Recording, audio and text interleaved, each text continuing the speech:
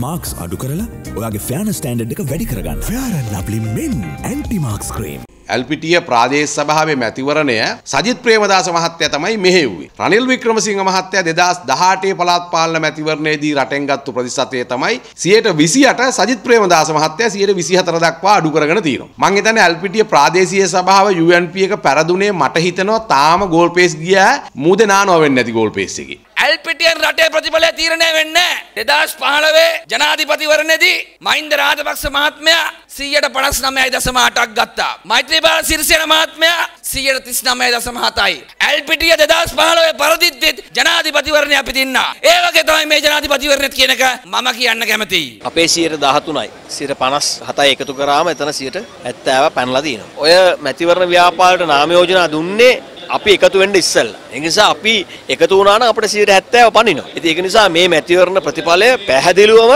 නියත වශයෙන්ම ගෝඨාභය රාජපක්ෂ මැතිතුමාගේ ජයග්‍රහණය ස්ථාපිත කරලා තියෙනවා. 5300 එකතු වෙන්නේ නැහැ. මේ ශ්‍රී ලංකා නිදහස් පක්ෂය පාවා දීලා තියෙන වෙලාවෙත් මේ ඊයේ තිබ්බ මැතිවරණයෙන් මේගොල්ලන් 5300ම කතර ගැහුවානේ 17 වෙනිදාන් පස්සෙත් ඔවුන් බලයි මේ ශ්‍රී ලංකා නිදහස් පක්ෂය කියලා බොරුවට බෝඩ් ලෑල්ල තියාගෙන ඉන්න. අපි ඒකට ඉඩ දෙන්නේ නැහැ. ශ්‍රී ලංකා නිදහස් පක්ෂයත් මේ රටේ දේශපාලන මැතිවරණවල තීරණාත්මක සාධකයක් බව මේ මැතිවරණයේත් ඔප්පු කරා දකුණේ ඡන්ද වලින් 70%ක් ගෝඨාභය රාජපක්ෂ මැතිතුමාට සෑම මැතිවරණ කොට්ටාසයකින්ම ලැබෙන බවයි. ඊයේ ඡන්දයක් තිබ්බනේ මේ පොර්තුගාලයෝනේ ප්‍රතිඥා දැම්මනේ සතුටු වුණා. මෝඩ චූන් එක. හැබැයි ඔය ඡන්දේ ඇල්පිටියේ නොතිය ගාල්ලේ නගර සභාව තිබ්බන අපි උඩින් ගහන්නේ. කොළඹ තිබ්බන මීගමුවේ තිබ්බන කොහොමද?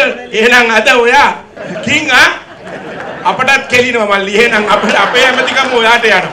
තේරෙනවද? ඔයා තමයි ගිය හැරවුම් ලක්ෂේ. එහෙම තිබ්බේ මීගමුවේ තිබ්බේ නැති එක හොඳයි. කවුද මේ ගෝඨාභය කියන්නේ? විරුද්ධවාදියා.